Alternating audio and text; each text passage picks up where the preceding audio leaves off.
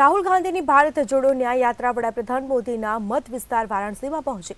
અહીં કોંગ્રેસ નેતા રાહુલ ગાંધીએ એક જનસભાને સંબોધી હતી. આ દરમિયાન રાહુલ ગાંધીએ ભાજપ પર આકરા પ્રહારો કર્યા હતા.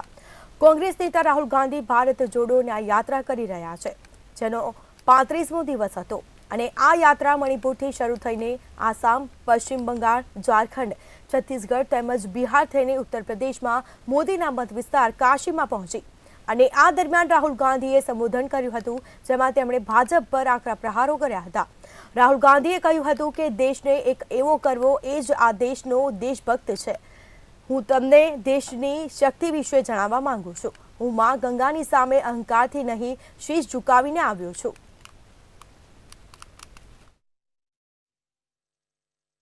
मंदिर में मैंने मत्था टेका गंगा जी का प्रणाम करने आया हूँ मैं।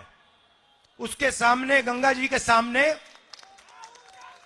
मैं यहाँ अहंकार से नहीं आया हूँ। मैं सिर झुका के, सिर नीचे झुका के, ऐसे मैं गंगा जी के सामने आया हूँ।